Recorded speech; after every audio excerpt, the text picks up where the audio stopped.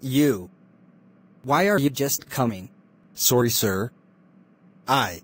Hold your sorry. This student of nowadays are disrespectful. What does it take you to call your class rep or me? You keep doing things in your own way. Is that how you will be embarrassing your family and your village people? Just take a look at him.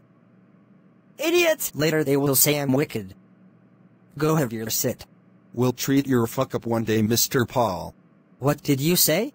Nothing.